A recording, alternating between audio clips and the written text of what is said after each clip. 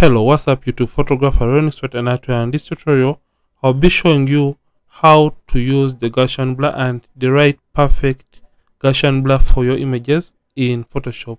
So if I told you I've had issues regarding not retaining skin details or skin textures in your images every single time you're using frequency separation as a retouching technique, this is the best video for you. So simply like this video and don't forget to subscribe. So in this, I'm just going to be using the actions because I don't want the tutorial to be a long one. And if at all you are interested in getting actions, you can get them anywhere online or you can even support this channel by purchasing my skin retouching actions. So I'm just going to come to window and come to actions right here.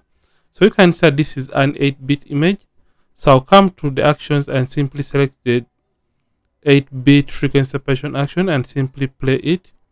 So what you have to understand is when you're determining the amount of Gaussian blur for your image, you have to understand that the lower the Gaussian blur, the more plastic or the more smooth the image is going to be, and the higher the Gaussian blur, the more textures you're going to be remaining with in your image.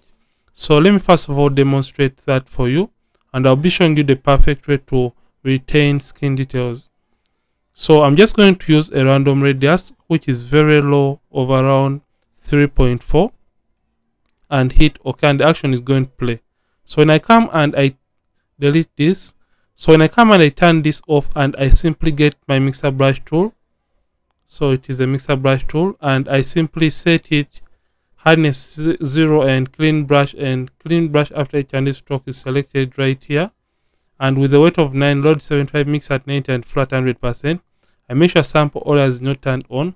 So when I come and I start painting on the image, for example, on the forehead area, you can see that it is going to be working.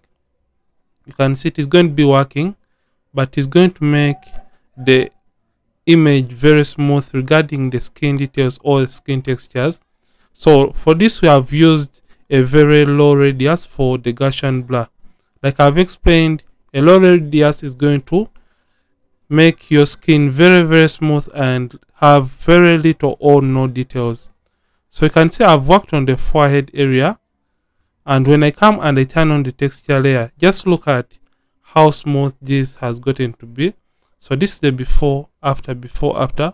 We have lost out most of the details and this doesn't look nice and really realistic. You can see before and after. But on the other hand let me first of all show you what a higher Gaussian blur radius is going to be affecting or how it is going to be affecting this very image.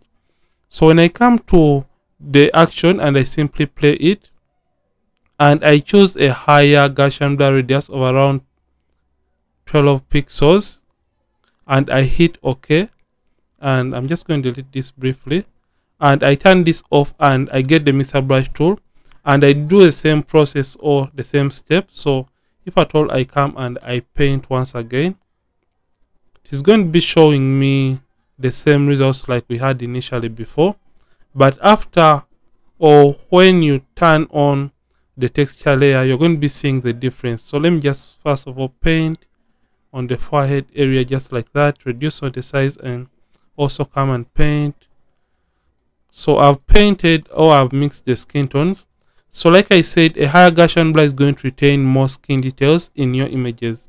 So when I come and I turn on the high frequency or texture layer, just look at how my how many details or how much of the details we are retaining in the skin area. So you can see the before and after, and this is very real, realistic and the skin looks natural, but we have blended uh, the skin tones and retained the natural and realistic skin textures so here is what you have to do when it comes to applying the right amount of Gaussian blur to your images to have the best details or the most natural and highly realistic skin details.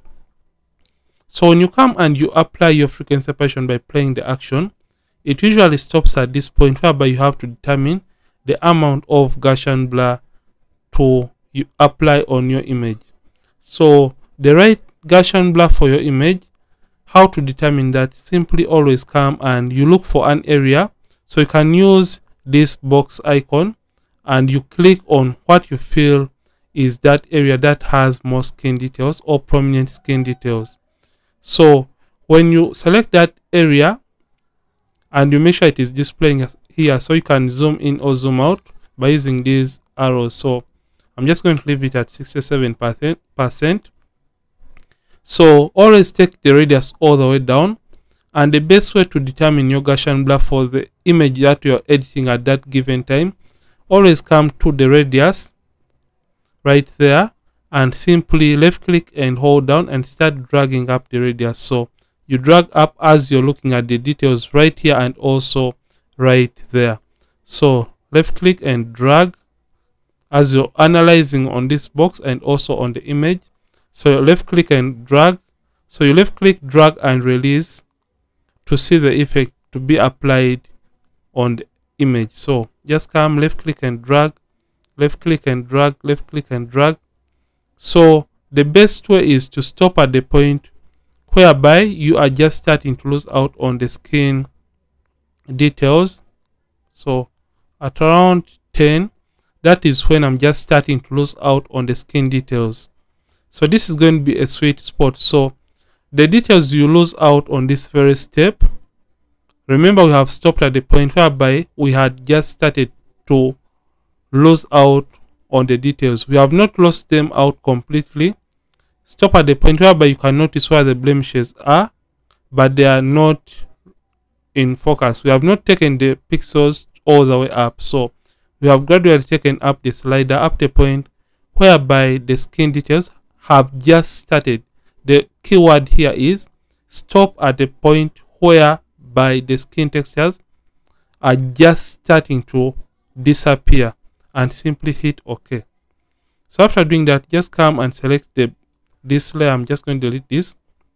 Simply hide this and select the low frequency layer and you get your mixer brush tool and set it the right way. So make sure it is soft round brush hardness at zero make sure clean brush is selected.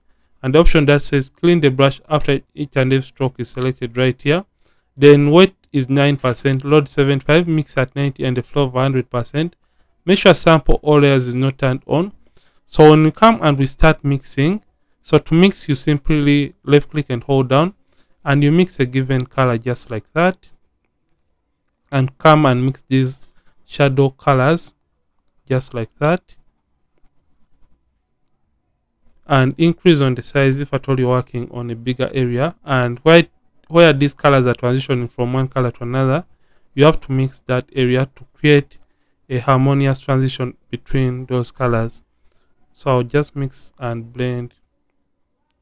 So just look at the forehead area. So right now we are only focusing on the forehead area. So after mixing i'm just going to turn this on. And you can see this is the before after before after the skin details or the skin textures have been left intact in this very image. Let me zoom in slightly. Look at the before after before after. We have only worked on the skin tones and the textures have been left very intact. So the most important step is always determine and take your time while you are determining the amount or the right Gaussian blur applied to the image if at all you don't want to end up with a plastic image.